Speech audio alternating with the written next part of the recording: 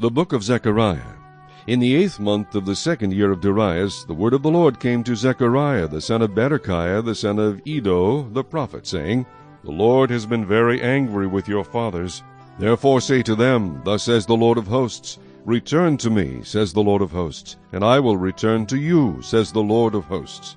Do not be like your fathers, to whom the former prophets preached, saying, Thus says the Lord of hosts, Turn now from your evil ways and your evil deeds. But they did not hear nor heed me, says the Lord. Your fathers, where are they? And the prophets, do they live forever? Yet surely my words and my statutes which I commanded my servants the prophets, did they not overtake your fathers?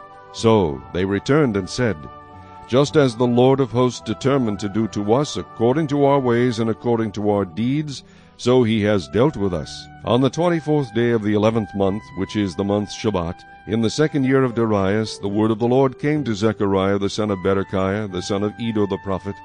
I saw by night, and behold, a man riding on a red horse, and it stood among the myrtle trees in the hollow, and behind him were horses, red, sorrel, and white. Then I said, My Lord, what are these? So the angel who talked with me said to me, I will show you what they are. And the man who stood among the myrtle trees answered and said, These are the ones whom the Lord has sent to walk to and fro throughout the earth. So they answered the angel of the Lord who stood among the myrtle trees and said, We have walked to and fro throughout the earth, and behold, all the earth is resting quietly. Then the angel of the Lord answered and said, O Lord of hosts, how long will you not have mercy on Jerusalem and on the cities of Judah, against which you were angry these seventy years?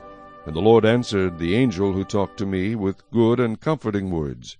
So the angel who spoke with me said to me, Proclaim, saying, Thus says the Lord of hosts, I am zealous for Jerusalem and for Zion with great zeal.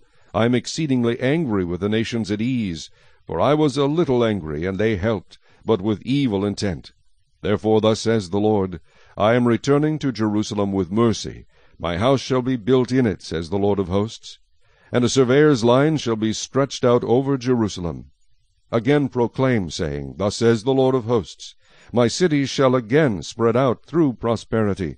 The Lord will again comfort Zion, and will again choose Jerusalem. Then I raised my eyes and looked, and there were four horns. And I said to the angel who talked with me, What are these? So he answered me, These are the horns that have scattered Judah, Israel, and Jerusalem.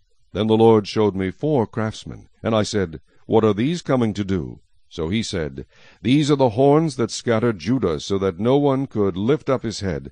But the craftsmen are coming to terrify them, to cast out the horns of the nations that lifted up their horn against the land of Judah, to scatter it.